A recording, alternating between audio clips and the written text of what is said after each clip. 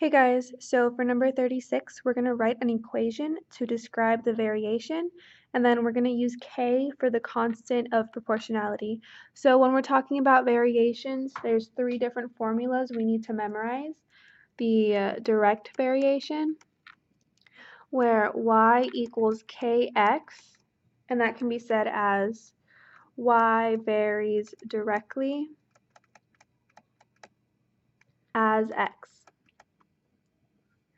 There's also inverse variation where y equals k over x, and that can be said as y varies inversely as x.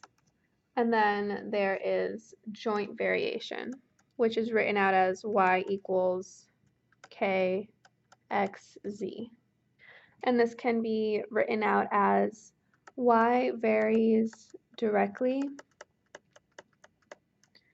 as x and z. So in other words, two or more variables. So our constant for all of these formulas is going to be the k, which just means that when you apply this formula to a word problem, the k is going to be substituted for a value that's constantly going to be that value. Here we're not applying this to word problems, we're liter literally just writing down the equation to describe the variation. So in this problem, we have x varies directly as s, and directly is going to be the key word telling us that we're using this formula. So y equals kx. Now notice how this is written. y varies directly as x. So our y is first, and it's going to equal k times something.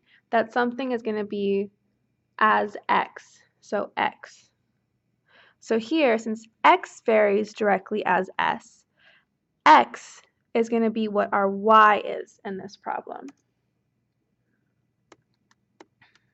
And it's going to be equal to k times something. And that something is going to be this s. So the equation to describe the variation for number 36 is going to be x equals ks.